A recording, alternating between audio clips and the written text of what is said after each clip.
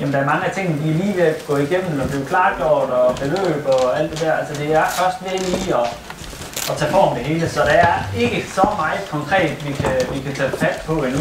Det vi vil komme ind på her, det er jo øh, lidt om de her lavbundsjord. Hvordan det ligger, og mulighederne er der. Så er der noget omkring alt det her med kvælstofreduktionen. Øh, bliver det noget med efterafgrøder, eller hvad bliver det, eller skal vi bare øh, give mindre kvælstof? Der er også noget omkring præcisionslandbrug, der er det. Så kommer jeg lige ind med sådan en øh, dyrkningssikker jord, og så øh, arealer til natur med støtte. Det er jo sådan lige de emner, vi har på her.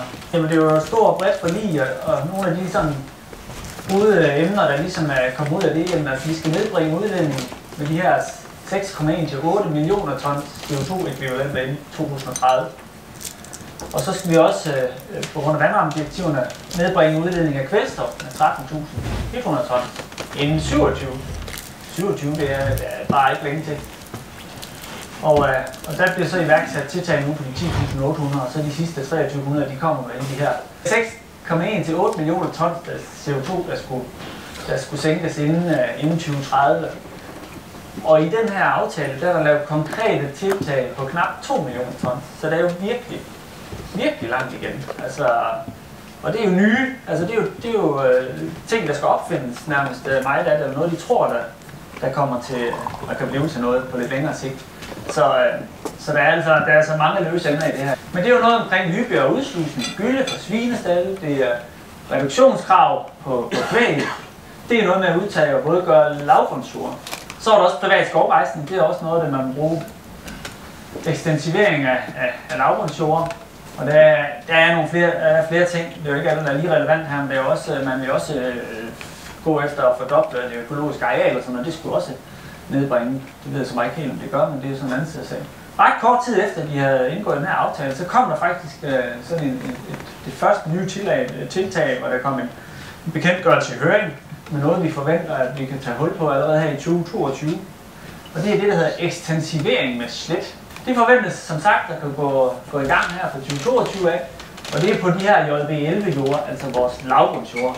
Arealerne de må ikke gødes, og de må ikke afgræsses. Og det vil så sige, at vi får ingen kvotetildel på det her areal, hvis vi går ind i den ordning her. Og så skal der tages et slet en enkelt gang i løbet af, af, af sommeren der.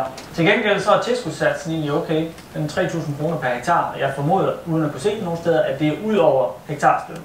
Så det er jo egentlig okay, hvis man har nogle tvivlsomme lavbundsjord, så kan man egentlig godt få en masse ud af dem ved at, ved at gå ind i den ordning her, rent økonomisk.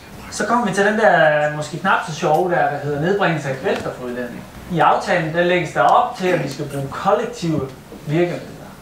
Også i det omfang, det nu kan lade sig gøre. Og det er jo for eksempel de minivådområder, som, som der både har været snakket om. Og der har problemet indtil nu jo altså været den bunke, der ligger over ved Landbrugsstyrelsen af sagsbehandlingstiden, har været helt håbløs, og dispensationer og sådan noget har de ikke kunne få. Og ja, det, det går sindssygt langsomt, så, så jeg tror, det er rigtig godt, de har fået med ind i aftalen, at, at uh, der skal i gang med sagsbehandling. Og hver anden år, der kommer de altså til at gøre status på det her med de kollektive virkemidler. Kører det, og er der gang i det, og, og, og, og virker det? Der vil helt sikkert også blive øh, brugt øh, på den her målrettede, målrettede regulering, som vi har kørt med nogle år nu, hvor efterafgrøder, de er de målrettede efterafgrøder er en del af det, samt de alternativer, der er til det, som man kan bruge i stedet for alle vores efterafgrøder. Det kan jo godt begynde at knive, især ved dem, der har noget lægejord og har en masse vintersæde, at vi kan blive ved med at finde plads til de her efterafgrøder. Og derfor så, øh, så kan man jo kun opfordre til, at man begynder at, at kigge mere ind i de her alternativer. Der er allerede en, en, en mindre liste nu, som, som nogen bruger lidt af. Altså for eksempel tidlig såning af vintersæde er jo en af dem. Det er nok den, der sådan lige er, er mest brugt. Og der kommer flere muligheder. Og blandt andet så har man iværksat en her, der hedder noget med præcisionslandbrug. Det kan man bruge på korn- og rapsarealer. Altså hvis man dyrker præcisionslandbrug efter nogle vilkår, så kan det bruges som alternativ til efterafgrøde. Der er nogle lavt hængende frugter i, i at være klimavenlige også. Hvis det går i bløde hvert år, jamen så, øh, og vi bruger det samme, altså fuldt true på et areal, og det aldrig bliver høstet eller bliver lavet udbytte, det er jo lidt tåbeligt også klimamæssigt. Sørg for at holde jeres øh, jord dyrkningssikker på den ene eller den anden måde. Hvis vi kan lave et højere udbytte på det samme input, jamen så er det jo klimamæssigt i hvert fald rigtig smart. Og også holde jorden frugtbar, og det vil sige, at man sørger for at holde kulstofindholdet i jorden højt. Og det gør man jo ved at bruge efterafgrøder til husdyrgødning. Altså gylde er ikke fantastisk, men med alle det tørstof, der er i meget gylde, så er det okay. Halvnedmuldning er også en god ting. Og så det med dræning, det har vi været inde på. Er det kompakt jord, så gør noget ved det. Der er jo ikke rigtig noget, der er helt sikkert endnu, fordi vi har snakket om det, men der er ikke rigtig kommet noget på det endnu fra, fra, fra politikernes side, så vi ved altså ikke rigtig, hvor vi er henne endnu. Vi ved, der kommer væsentligt fald i den her direkte støtte, I får. Så øh, vi får ikke så mange penge udbetalt på, på, på den grundstøtte, som vi har gjort. Det er helt sikkert. Betalingsrettigheden, de bliver væk, og vi er ikke færdige nu med at sidde og klappe i vores hænder over det. Det er fantastisk. Og vi er trætte af at flytte betalingsrettigheder og holde styr på dem, så det er bare dejligt. Men ulempen er selvfølgelig, at der er nogle værdier på de her betalingsrettigheder, der hos alle stivelsesavler er væsentligt højere end normalen, og hos kvægbrugen også er væsentligt højere. Så de bliver altså udjævnet fuldstændig. Så de bliver væk. Så slipper vi nok heller ikke for den, der hedder obligatorisk braklægning på 4%. Den øh, må vi også forvente senere i.